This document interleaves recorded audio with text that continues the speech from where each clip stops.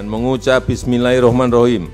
Pada siang hari ini saya resmikan Jalan Tol Ruas Indrapura Kisaran, Seksi 2, 50 Kisaran di Provinsi Sumatera Utara dan Jalan Tol Ruas Betung Tempino Jambi, Seksi 3, Bayung Lencir Tempino di Provinsi Jambi.